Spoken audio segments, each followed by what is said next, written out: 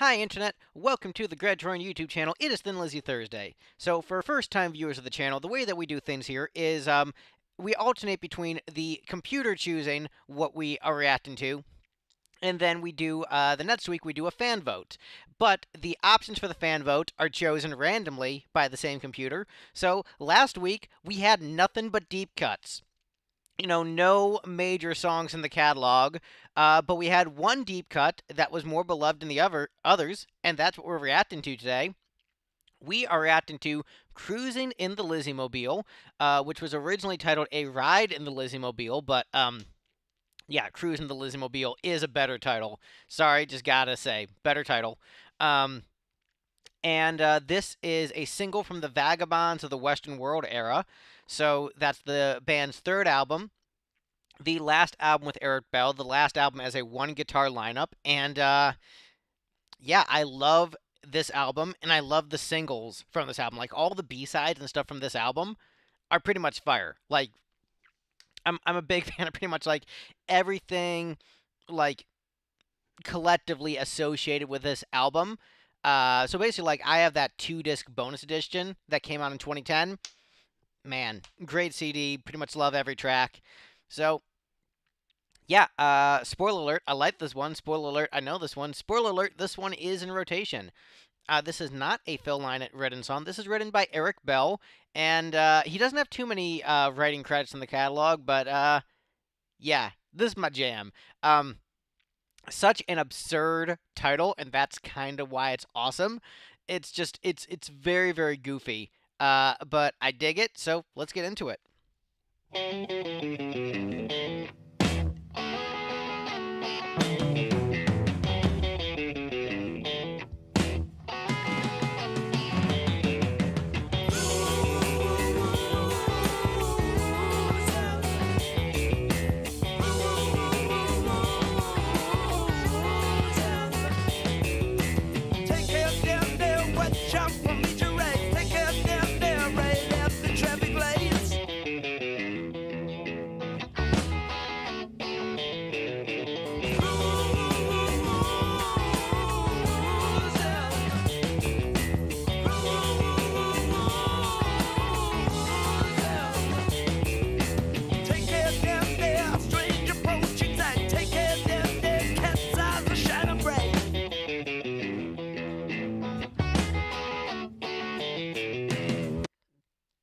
so this one, uh, you know, I don't think we're gonna get much out of this one lyrically. Uh, there's not much lyric here.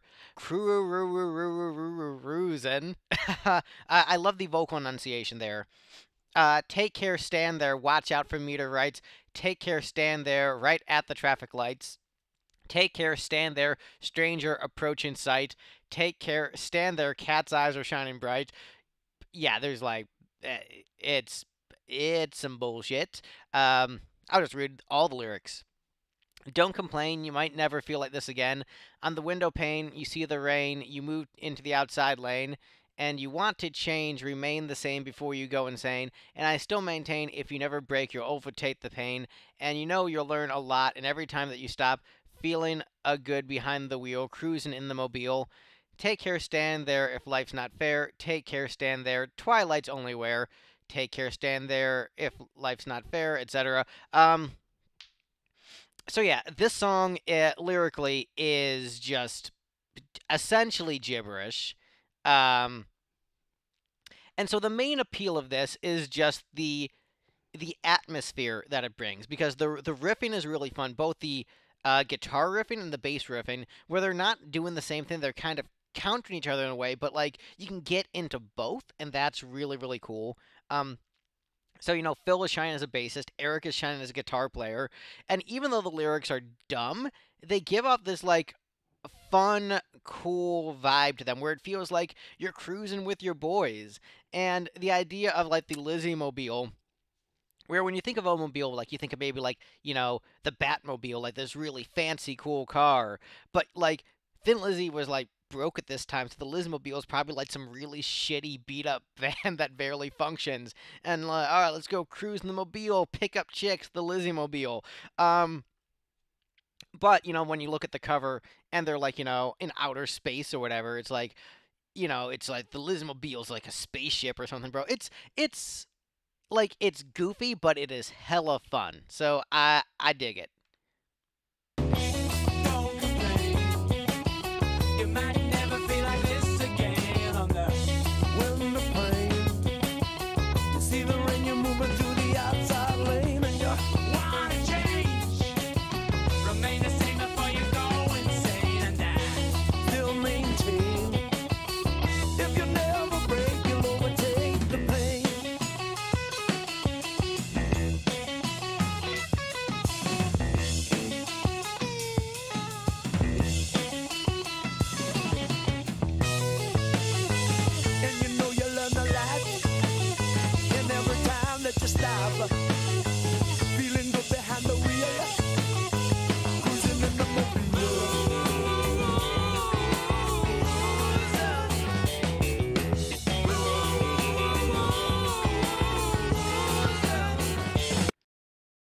Yeah, um, freaking great. I I love the vocal interplay between uh, Phil and uh, Eric Bell doing a rare lead vocal, them going back and forth, really cool. And even though the lyrics are dumb, they are selling them as being less dumb than they are. So, um, yeah, it's uh, and you know the the riffing is really really fun. Eric Bell very, very underrated guitar player.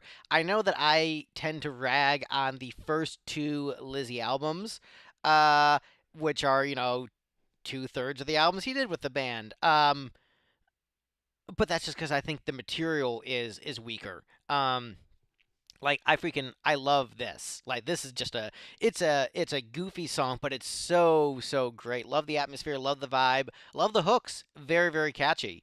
Um, it's even though it's not necessarily like sing along catchy, uh, the momentum of the melody like pulls you forward and keeps you in it. So I'm just um, I'm down.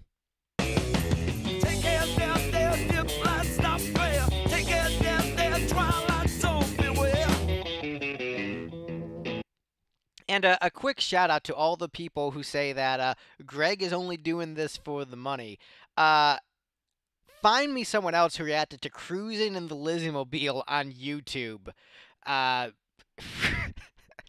like this, this is deep, y'all. This is a deep cut. So, yeah. Like what what kind of insane person does this? Like I'm gonna react to cruising in the Lizzymobile. Someone who loves Thin Lizzy, that's who. Yeah. Oh man, this is such a great song.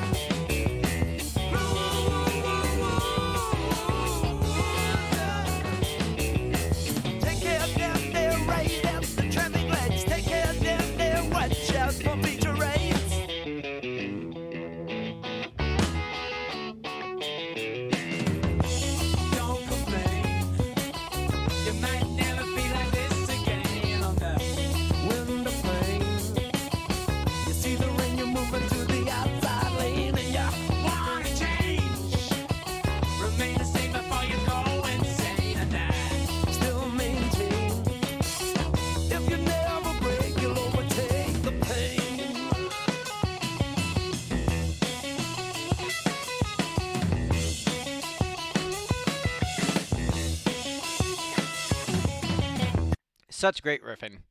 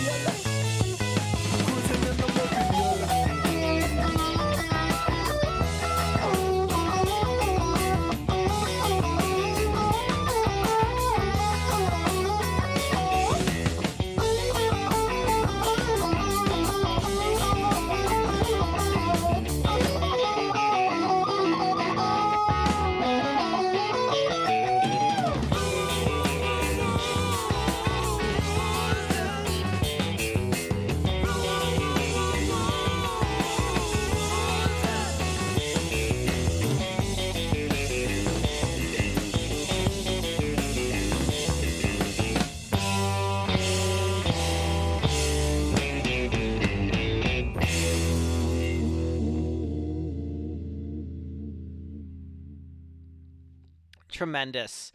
Um, I know there are some fans who prefer the original title because it's the original title.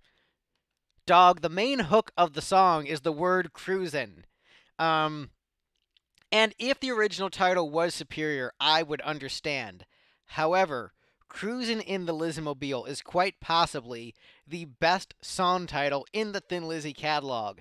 That's a great song title. Like, as soon as you see that song title, you smile.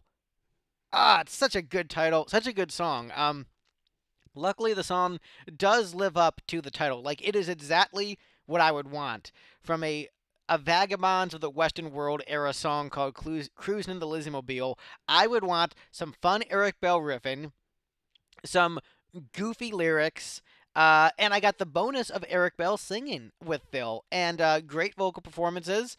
Um, yeah, I freaking love this one. Uh, I don't care that it's goofy. I don't care that it's silly. In fact, that makes it better. Uh, yeah, I freaking adore this one. Excellent. Now comes the part where we rank this song. Uh, this song that is uh, basically just for Lizzy diehards. You show this to the average person, and they will just not appreciate its greatness as being cruising in the Lizzy-Mobile. But, oh man, where do we put this? Is it better than the boys are back in town? All right, I'm being hyperbolic, but uh, let's see. You know, balancing out my enthusiasm versus how good I think it is.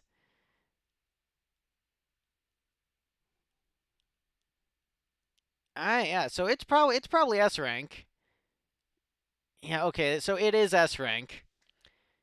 Ah, Christ, why is Speed King so high? I just because I was ranking it based on the writing. All right. What? Whatever. Okay. Do do do do do do do do do do do do do do do. Do do do do do do do do. All right, so the pressure will blow is in my head now.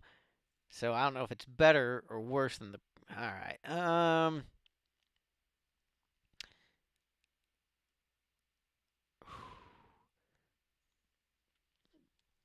All right, so it is somewhere between Johnny the Fox meets Jimmy the Weed and Sweetheart. It is somewhere in that range. Uh,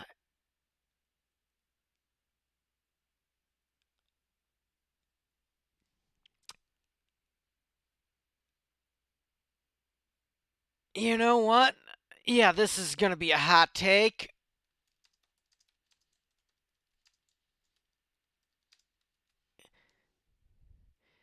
Yeah, uh, that's how I'm feeling right now. Better than Johnny the Fox meets Jimmy the Weed. Come at me, you nerds. Um, yeah, freaking love cruising in the Lizzy-Mobile. Mwah. Chef's kiss. Magnifique. Mwah. Uh, so yeah, those are my thoughts on cruising in the Lizzy-Mobile. Um, Stone Cold Classic S rank. Uh, not only am I the only YouTuber brave enough to react to Cruise in the Lizzy-Mobile, the only one brave enough and correct enough to state that this is an S rank song.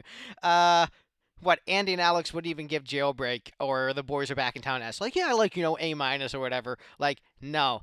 You get the truth on this channel where I say that Cruise in the Lizzy-Mobile is an S rank song.